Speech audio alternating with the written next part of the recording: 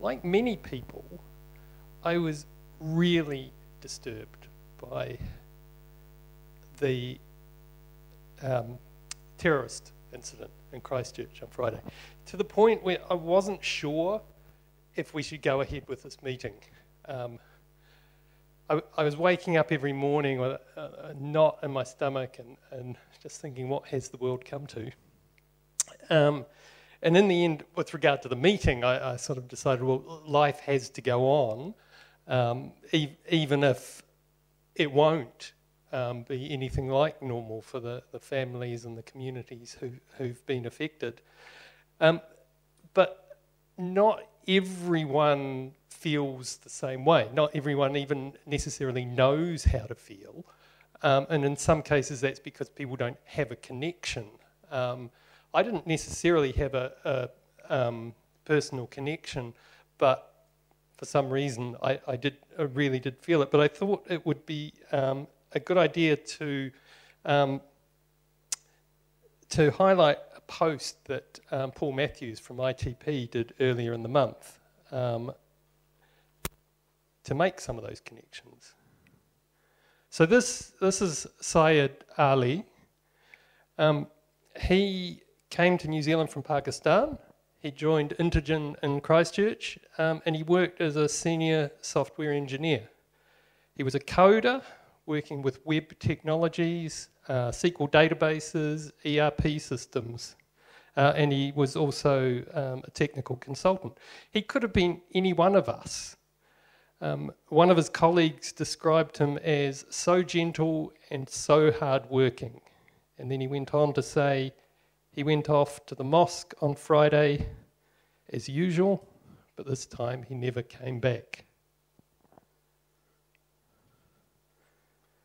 This is Atta Elayyan, um, who is another technologist. Um, he came to New Zealand from Kuwait. Um, the New Zealand media have been focusing on the fact that he's a sportsman and he's represented New Zealand um, at uh, futsal. Um, but a connection for us is that he's a technologist. So as a teenager, he was um, a very keen gamer, in particular Counter Strike.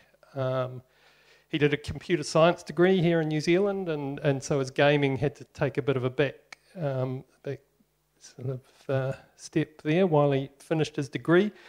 Um, and then once he graduated, he uh, began working as a developer and a UX designer. Um, so that particular combination um, he apparently excelled at. He was really good at it. Um, he ended up co founding a company um, that made apps um, mainly for, for Windows, Windows Phone, and, and Windows platforms. Um, and uh, one of his colleagues said um, he was driven to reach his potential and in all aspects of his life and also assisted others in fulfilling their potential too, um, both with the um, technology side of things and also with um, his futsal. Um, he was coaching um, the uh, local Christchurch Boys High team um, and also the women's futsal team. So the murderer who ended the lives of these two men and, and 48 others, claims to be a white supremacist. He claims to be supreme, superior, based on his, his skin colour alone. He couldn't be more wrong. So here we are at a tech meetup, recognising a couple of people with whom we share common interests um, and passions. But as technologists, we also have to face up to some unpleasant realities.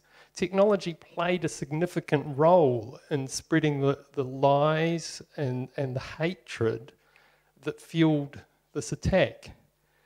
Um, the social media platforms, in particular, um, use algorithms that serve up an endless stream of, of um, material that can take a misguided person or even just an inquisitive person on a journey that ends up radicalizing them in a, in a series, a very long series of very small steps. So, as technologists, we have to ask ourselves if the code that we're building could be used in that way, and if so, what we might do about it. We need to think about how that might happen and, and how we would stop it.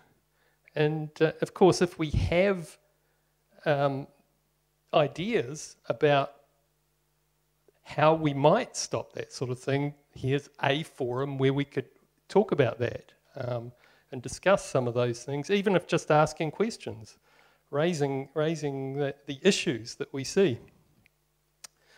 Um, and finally, I, I wanted to um, touch on one small thing that, that we could do here.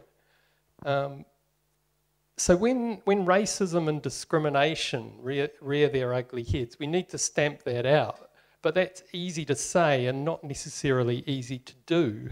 Um, one thing that can help, I think, is if there are rules that are clear. So, it, so then it's easy to call someone out if their behaviour is outside the rules.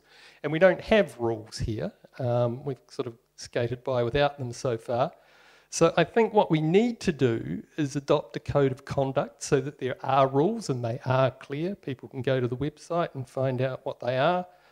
Um, but as important is we we need to have people who will enforce those rules. There's no point having a code of conduct if we ignore it, and that needs to be more than just one person. There need to be um, three or four people who um, whose names are listed. That someone here, if if they had a problem, they could talk to one of those people, report an incident, and know that it would be handled properly.